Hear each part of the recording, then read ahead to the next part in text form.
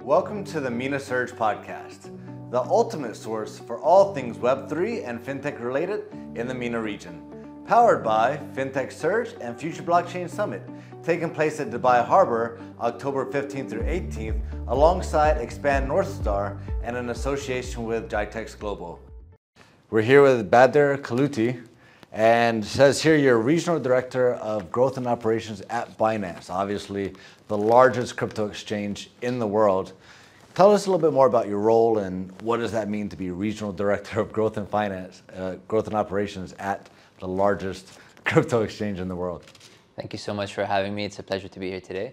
Um, so yeah, look, in COVID, my conviction for the Web3 space started to skyrocket, and I eventually found myself gravitating more and more towards the space. And, and today I'm fortunate to be with Binance. Uh, as you said, I'm uh, head of growth and operations for the region.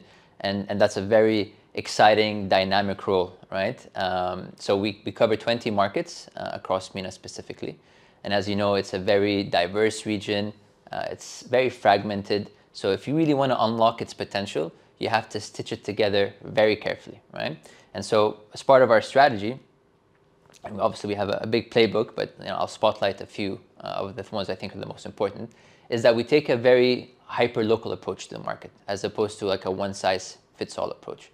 And uh, with that, we're able to cater to the nuances of the region and really resonate uh, with our audience. The second is that, you know, we are very user-focused as an organization. And so we put the user front and center of everything that we do. So that means we want to make sure that the funds are safe on the platform, that our services are top notch, and that we're always listening to uh, feedback uh, from the users so that we con continuously improve.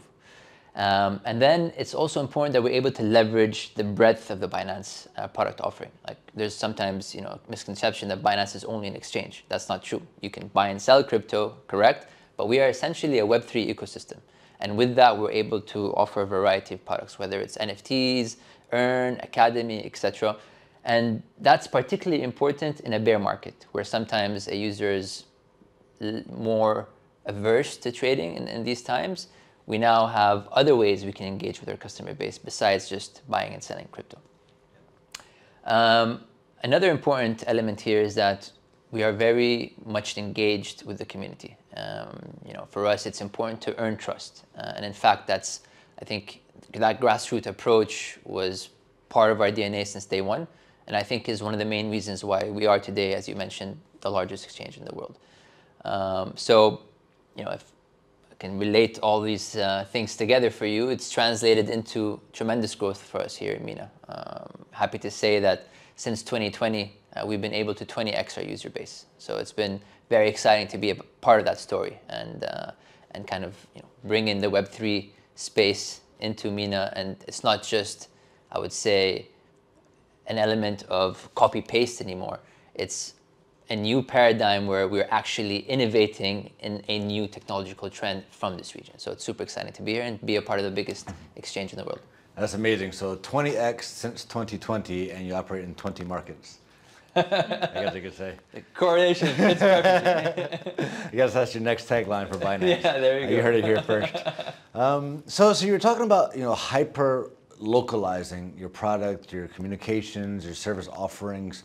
Um, you know, obviously you've done a great job in the MENA region, and anybody that's been here, anybody that understands the MENA region understands it's a very unique place compared to the rest of the world, especially Far East or even the Western countries. It's, it's very unique.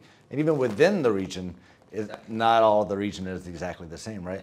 Tell us a little bit about how do you localize your product offering for the MENA region specifically, and what sort of successes and accomplishments you've had in doing that. Yeah, that's a great question. Um, so yeah, localization is key across the board, right? So first we started with uh, complying with regulations locally, right? Uh, for certain places like Dubai and Bahrain, we were amongst the first to set up and operate a local exchange, uh, which is great, right? So uh, this is again uh, pioneering the industry with a regulated framework as opposed to the previous ways of how it has been done. And this is the future of the industry.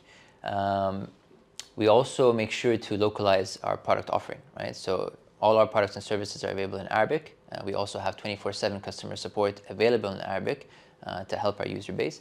And uh, we also make sure that all our marketing campaigns are localized, right? We want to cater to the specific demographics of the region. As you mentioned, it's, it's not a homogeneous uh, setup like you do in the States, for example, where the cultural values are very much in line and, and the way you speak to users is very similar. MENA is combination of 20 countries, uh, different ethnicities.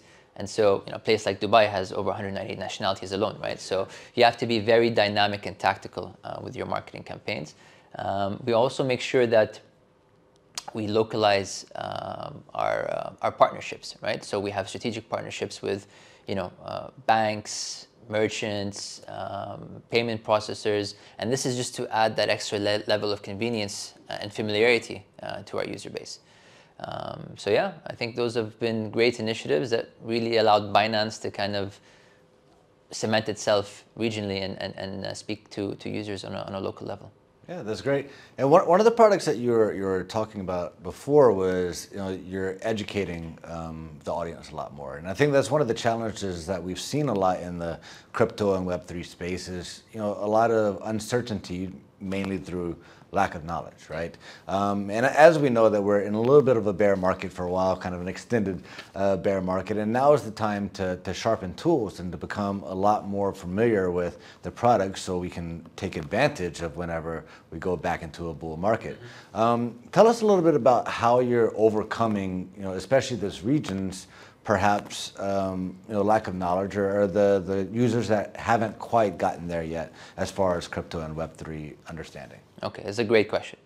Uh, with the emergence of any new technology, uh, there's a tendency for it to be quite esoteric, meaning that a very small percentage of the population will relate to that new technology, right? Therefore, education plays an instrumental role in driving mass adoption. So for us at Binance, we pay a lot of attention to this aspect, right? So for example, we launched Binance Academy. It's an online library of hundreds of articles translated in 20 plus languages where users can come in for free and learn about everything to do with Web3 and blockchain, right? We also do um, a lot of partnerships with universities, uh, whether it's uh, academy workshops physically or offline uh, to cater to, to college students because you find a high degree of affinity with students in college and crypto because they realize that future job creation opportunities are going to come from within the space, right? Uh, we also host a variety of AMAs uh, weekly, right, covering different topics. AMAs Ask Me Anything, right? So users can come in and we talk about hot topics, we talk about safety, we talk about new trends, and we find a lot of engagement with that. Uh, we also just recently launched something called uh, Blockchain for Everyone. It's a curated crash course translated in Arabic where you can learn about the basics of Web3. And then at the end of completing the course, you get a NFT Binance certificate uh, that you can use uh, to kind of, you know, validate that, hey, you know something about the space. And then lastly, uh, you know, we also realize that there's varying user personas when it comes to Web3 and MENA, as you correctly mentioned. So you have your crypto newbies and you have your crypto OGs, right? Um, so for us as a product, it's important that we cater to both ends of the spectrum. So within our platform, you have Binance Lite and you have Binance Pro. With Binance Lite, it's easy for the new, you know, the new joiners to onboard, navigate, and use uh, the product because it's catered to that audience. With Binance Pro, it's a more feature-rich uh, part of the uh, platform, and it's catered to the sophisticated investors. Yep, absolutely. And, and, that's something that us at Future Blockchain Summit, we, we really try to, to cater to both ends of the spectrum as well, right? We have the, the proper technologists that just really love the technology behind blockchain, the use cases that maybe over other people's heads or maybe just not even interesting to them at all. Whereas we also want to make sure it is user friendly for those that are not quite necessarily there yet. We want to make it something exciting for them and understand how does this apply to you kind of on a daily basis, on a yearly basis? How can you improve your life through this technology? Do you feel like it's difficult as you know someone in charge of growth to to cater to both ends without alienating one or the other? Um, it's not so much difficult but it just requires that you pay a conscious effort to realize that that's a fact you have to contend with, right? And once you do that, you just tailor your strategies accordingly and you'll achieve that goal. Uh, I think, you know, a perfect example is what I just mentioned now with the light and pro approach. um, we we able to you know uh, adapt our, our service to to the varying uh, you know I'd say degrees of user education in this space. For sure. So products that 100% cater to this one and 100% cater to this one, so that way neither uh, neither audience feels like Yeah. they're not being treated well. Yeah, and, and you have to think about it as a, as a journey. Like you can't over, I mean, the concept itself is relatively new, and there's so many things being built on top of this, uh, you know, new technology that uh you have to find a way to kind of, you know, orient the user from the beginning in a way where it's kind of bite size and it's not too overwhelming. And then once they get more comfortable, you kind of widen the menu a bit of the various things that you can do in this space. For sure. So that's the way you got to think about it. Yeah. And you, you mentioned that you kind of really started to get excited about crypto and Web3 in 2020. And obviously, since 2020, Binance has seen a 20x uh, growth. What are some of the things that you've seen in the region or even in Dubai specifically that has really kind of cemented its place as the crypto hub, you know, the Web3 hub of the Middle East and, a big player in the world? What are some of the things that you're seeing that has happened recently or is coming up in, in recent time? Okay, so I'll, uh, I'll zoom out and start with what I feel is exciting uh, with the space in general, right? So there are two things that, that drives the crypto market, right? In the short term, it's driven by the global liquidity cycle, right? So that's highly volatile. But over the long term, it's driven by network adoption and regulations, all right? With regulations, this is how the story goes. An entrepreneur will come with a new idea, establish product market fit, and then in an, in an ambiguous environment where the rules aren't very clear, and then after a certain level of scale, the regulator will come in, play catch up, and establish the rules of the game, right? This is what's happening right now, right? It's super exciting. Um, and, and Binance is actually the largest exchange in the world with the most licenses in the world. We're at 18 now. And this is very important because proper regulations will pave the way for mass adoption and open the door for institutional capital, right? Um, most recently, BlackRock uh, announced their uh, spot Bitcoin ETF, the filing of it, right? So this is a massive milestone for the space that you have the largest asset manager in the world essentially stamping uh, credibility onto the, uh, the entire Web3 ecosystem, right? Uh, and you also had very recently a lot of favorable court rulings uh, that have come in the favor of crypto and Web3. So giving you signs that you know, there is light at the end of the tunnel and hopefully good things are coming. Uh, when it comes to the network adoption piece, this is where you need to solve the problem of, hey, where are the users, right? And you need use cases to bring in these users, right? So essentially, it first started off with Bitcoin, kind of being a new store of value, call it digital gold if you want. Um, and then you moved on to Ethereum, which brought you DeFi and NFTs. But today there is a wide range of you know, protocols that are putting forward very interesting uh, utilities and use cases. For example, you have the potential of tokenizing real world assets. Um, you have the decentralized model being applied to you know, uh, cloud storage, uh, GPU processing, gaming, liquid staking. Uh, the list goes on and on and on, right? One thing I would like to clarify is that a lot of people think Web 2 is meant to replace Web 3. That's not the case, right? Web 3, with the merits of blockchain, can do certain things more effectively and efficiently than what Web 2 can do today. And that's the area where you see a lot of opportunity uh, for that use case. And it's also important to know that you know the young talent today is flocking towards the space, and then there's a lot of capital coming in to back those uh, entrepreneurs. And so eventually you will get those killer apps, you know, that come on chain and bring this wave of a billion plus users, very similar to what Instagram, Facebook, YouTube did for Web 2 in the mid 2000s. Yeah.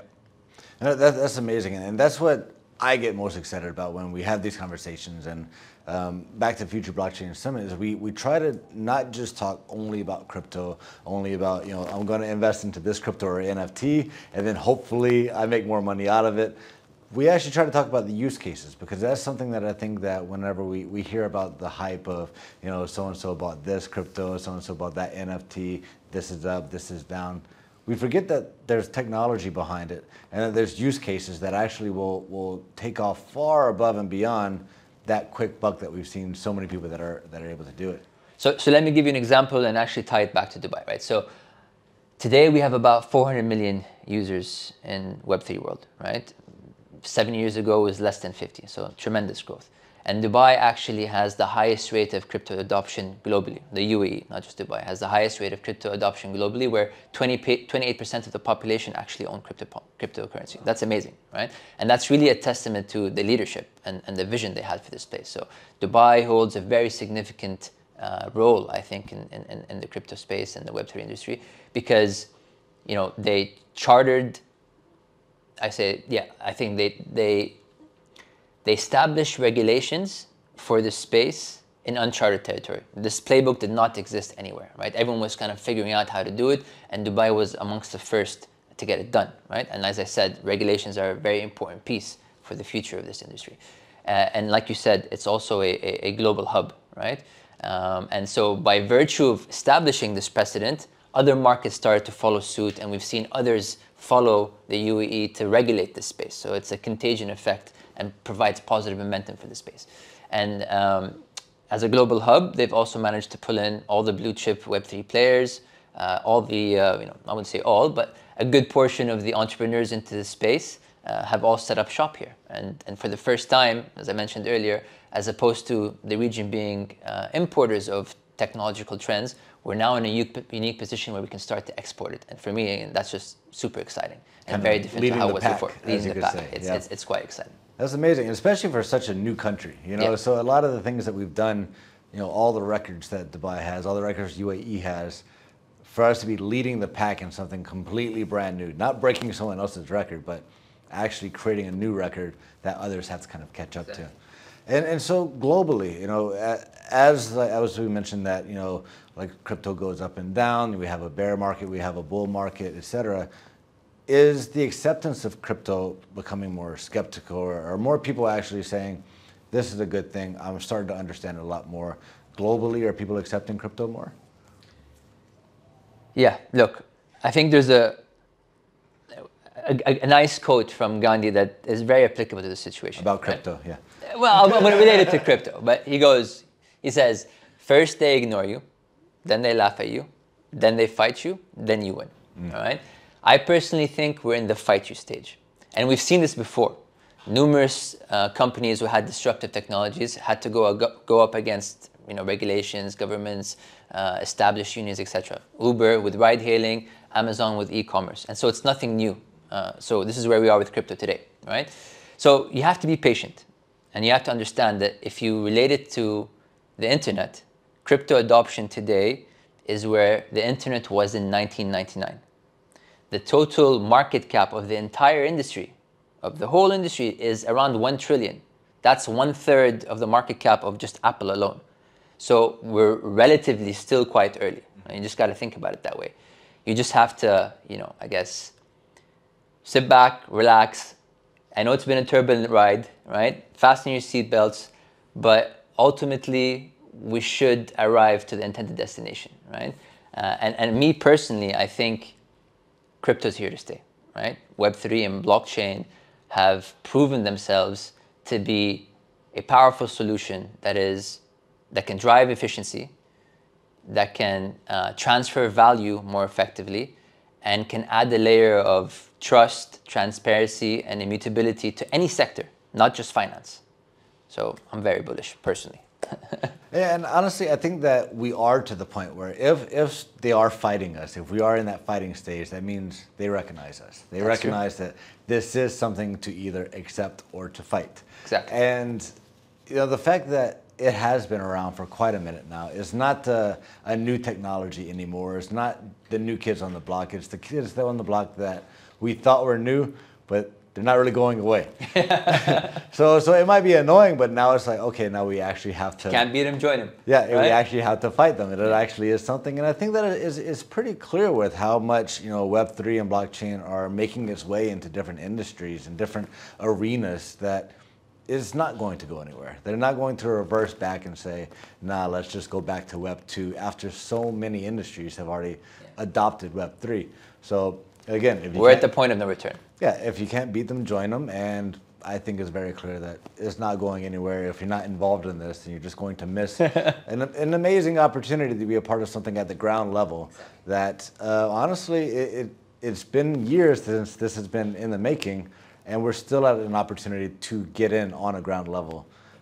Look, history doesn't repeat itself, but it often rhymes, right? We've all heard that saying before. And it's exactly the same thing with the internet. Like I go back, it's, okay, the internet was disruption at a more massive scale uh, but it was the same concept. People doubted the internet.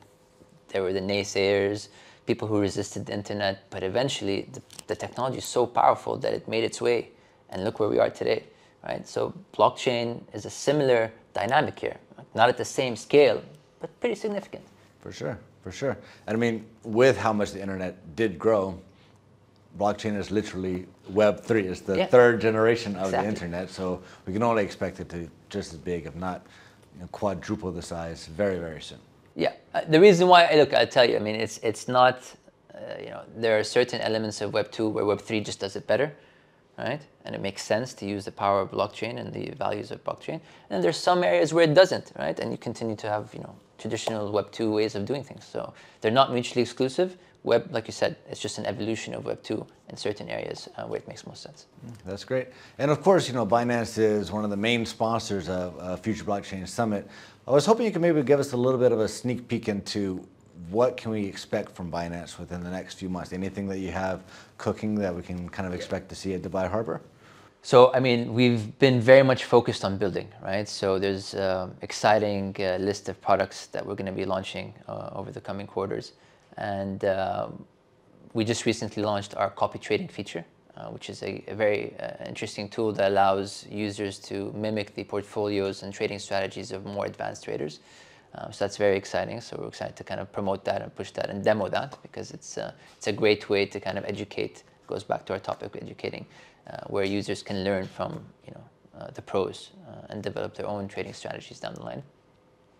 Um, we're also interested to kind of showcase and uh, talk about the launch of our Dubai entity, uh, which is recently launched, and you know, that's going to be the center point of the the summit for us. And we also have a few other events. Um, Binance Blockchain Week is also happening in, in November, and that's our annual event. Which your equivalent of Future Blockchain Summit that we host, and, and this year it's in, we had it in Dubai uh, a few years ago, and now we have it in Istanbul. So we're going to be very busy.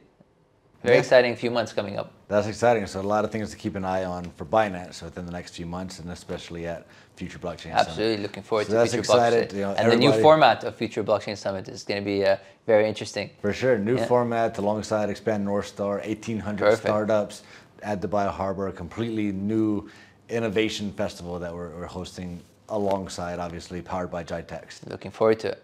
So, um, so now we know what we're excited to see from Binance at Future Blockchain Summit. But obviously, this is not your first time being one of the key sponsors of Future Blockchain yeah. Summit. What what do you get excited about seeing every year at this massive blockchain event that we host in Dubai? Yeah, look, we're very excited to be back. I think uh, just the curation of uh, the various players in the industry gathered together in a beautiful venue is super exciting. And anyone in this space uh, is going to kind of you know find a great networking opportunity, great way to talk about you know what we've been working on and listen from others. Uh, and I think you provide a very entertaining uh, couple of days where you know there's a lot on offer in terms of content, entertainment, uh, and so I'm very much looking forward to that new format where it's a bit more um, condensed and, and focus to the goals we want to achieve out of it. Whereas, you know, the, the past events have been great, uh, but it's just, you know, uh, as part of the bigger GITEX, you kind of get uh, a bit distracted with everything that's going on. And now we can just, you know, have our own space for the industry and kind of focus on uh, quality networking, as I would say, uh, and uh, talk about everything blockchain and crypto. Amazing. We're super excited to have you there. We're super excited to see what you're unveiling and, of course, all the panel presentations that you're going to be on as Looking well. Looking forward. So see you at Dubai Harbor. Looking forward to it. Summit. Thank you so much. Thanks a lot. See you soon. Bye.